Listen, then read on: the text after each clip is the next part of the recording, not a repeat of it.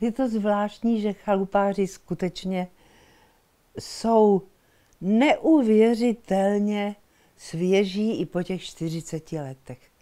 Já potkávám lidi, a zvlášť teď, když se to rozvířilo, že to má 40 let a, a tak dále a tak dále, kteří si vzpomínají úplně na podrobnosti, eh, maličkosti. No a když tak zauvažují, čím to asi je, tak si myslím, že to je milý seriál. Ono to zní tak všeobecně, ale být něčím milý, citlivý, něžný svým způsobem, přitom vtipný, to není jen tak. A je to tím, že jednak skupina nebo parta lidí, kteří se sešli na tom seriálu, byli báječní kolegové. Báječný režisér František Filip, který, já si vzpomínám, jak říkal mě, že si říkal, jestli to teda není pod, jako ne jeho úroveň, ale jestli to není takové obyč, jako a, a, a takový, jako jestli to vůbec má točit, nemá točit. A jak byl nakonec rád a zpětně se na to dívá nikoliv nostalgicky, ale tak jako řadí to mezi své milé práce, tak jako já a tak jako spousta jiných kolegů. A či, ještě jsem asi nezodpověděla, že to je o obyčejných věcech člověka, o každodenním životě, že se do toho neplete politika, že, jak jsem řekla, to hrají báječní herci a že to dává pohodu. A to je v dnešní době speciálně toho je nám tedy věru velice, velice třeba. Hmm. Vzpomenuli si na mnohé, mnohé tváře, se kterými jsem tam byla, tak se mi objevují s každou tou tváří nějaká vzpomínka, krásná, milá. Eh, z té dvojice Sovák, Kemr, eh, mně byl samozřejmě milejší a blížší pan Kemr. Eh, jednak tím, že já jsem o něm napsala fejeton, eh, který se jmenuje Ferkobáček, kde jsem ho srovnávala se svým slovenským strýčkem Báčím, Ferkem, katolickým farářem. A jak všichni víte, tak eh, pan Kemr byl katolík. A mám na něj krásnou vzpomínku, ale tak to už by se sem nevešlo. Mohla bych o tom vyprávět, ale jak se potkal s mým strýčkem právě, Ferkobáčím tady v Praze, v Nerudovce, kde bydlel. Ale i Jiří Sovák, který v té době byl, nepletuli se, členem našeho Vinohradského divadla. E, jako osobní vzpomínky na něj moc nemám, ale samozřejmě z toho natáčení, no tak humor pana Kemra,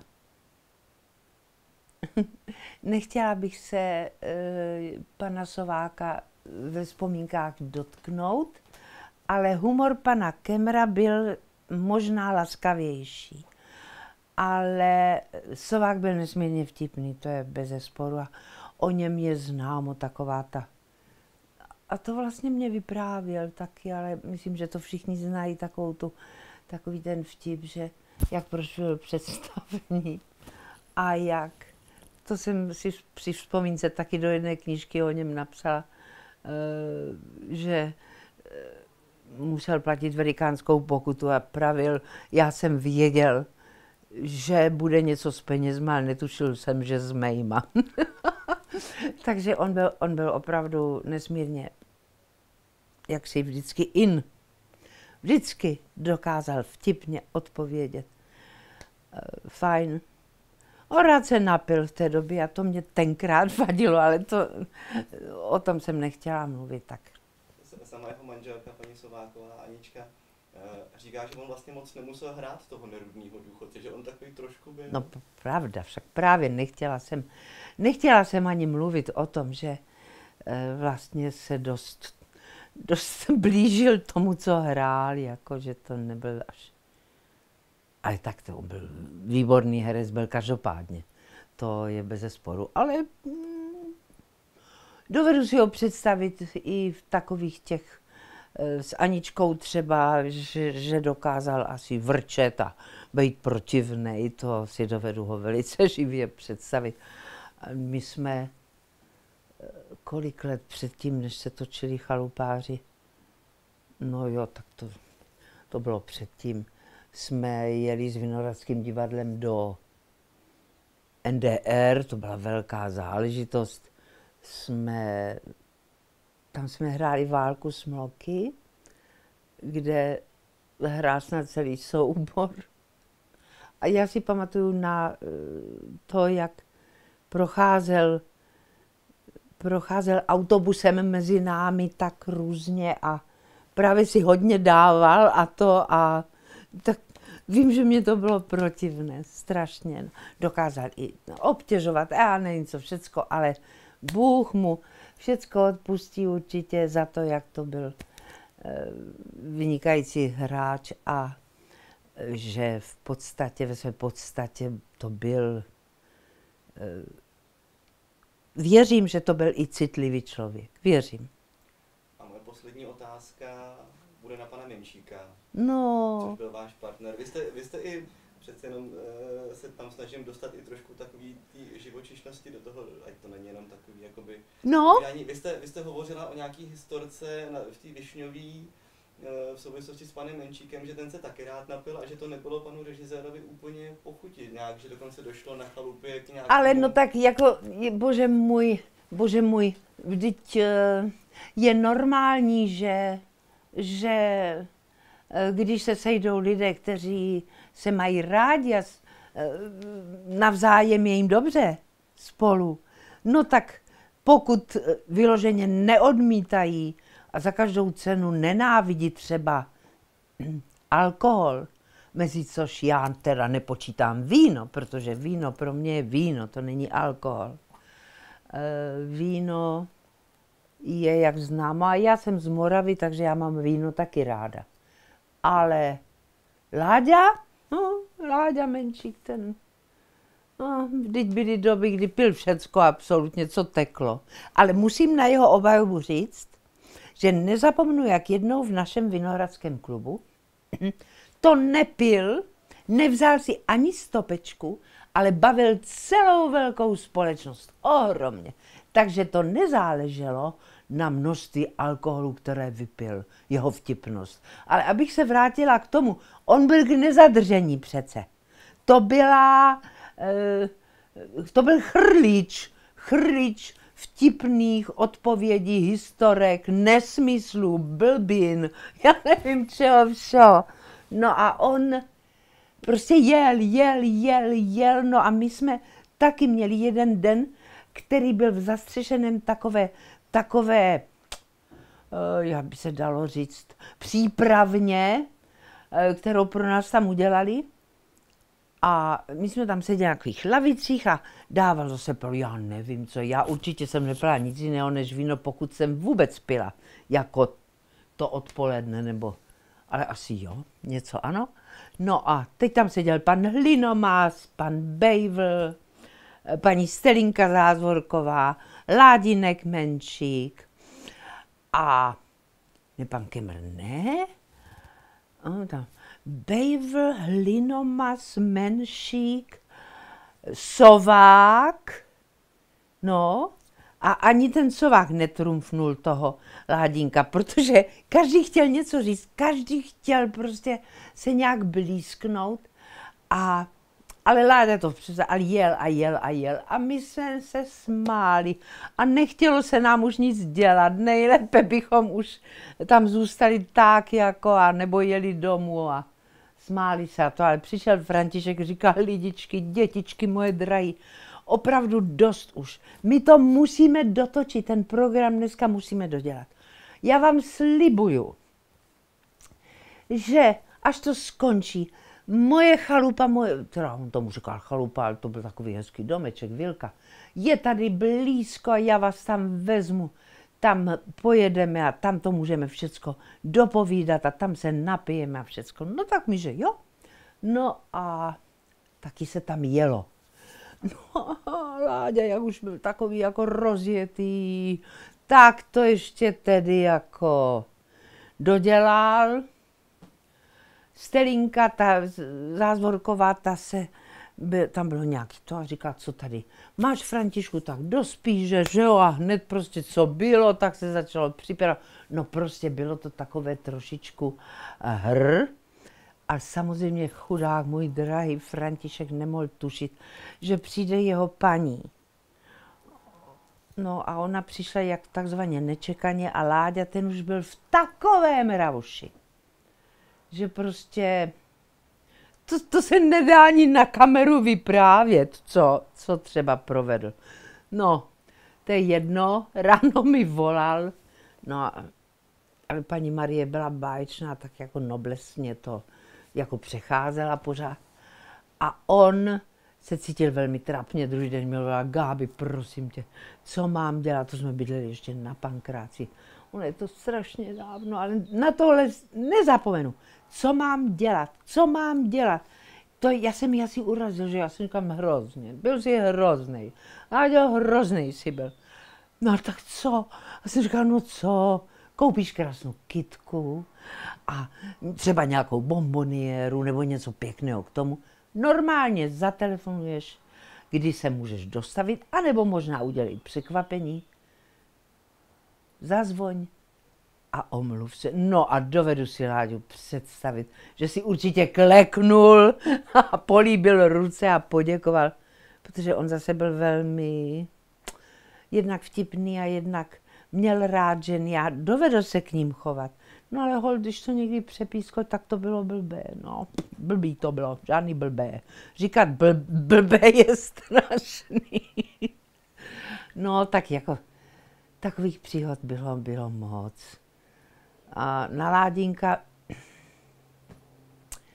a, já už jsem ho znala předtím, když můj první film, ne první, druhý film, Hledá se táta, byl vlastně takový Ládinková první velká role skoro.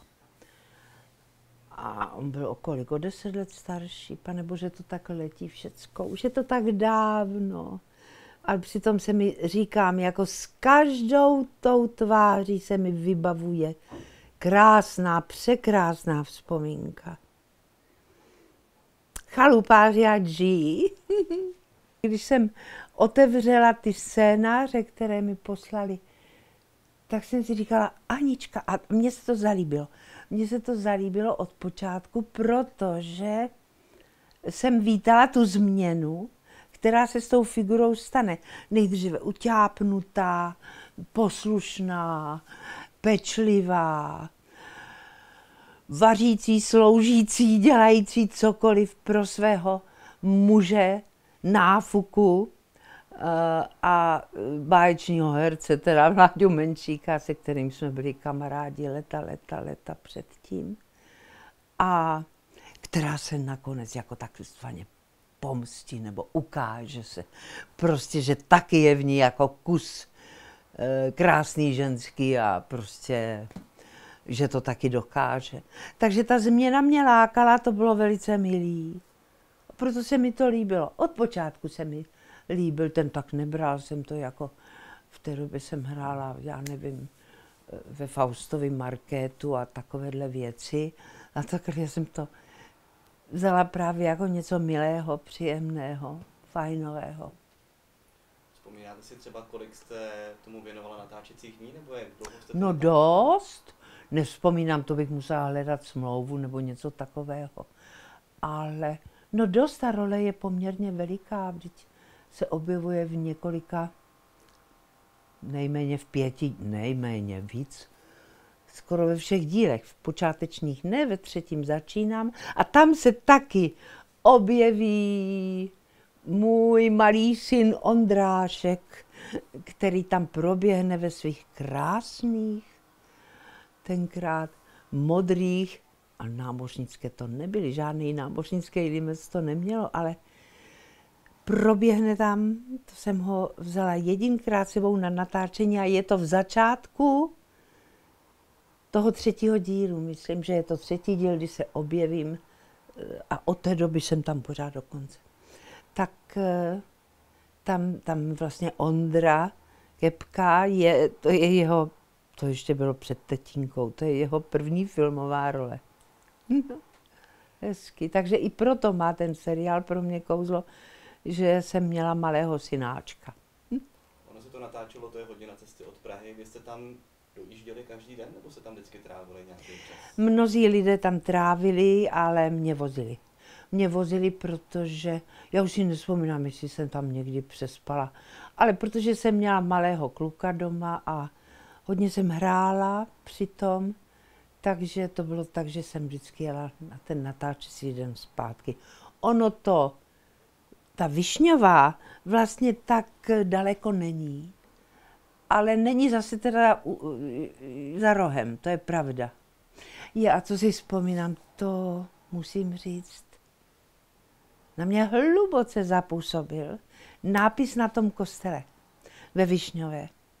Tam, to jsem šla, to bylo první den, kdy jsem tam přišla, jak jsme tak nějak procházeli a procházeli jsme si to a šli jsme třeba k domu těch čiháků, co jsem byla já, tak eh, tam je napsáno, a je to tam dodnes. Hodiny odvíjejí i tvůj čas. Pamatuj nakonec. No, tenkrát samozřejmě pro mě představa konce byla daleko, daleko.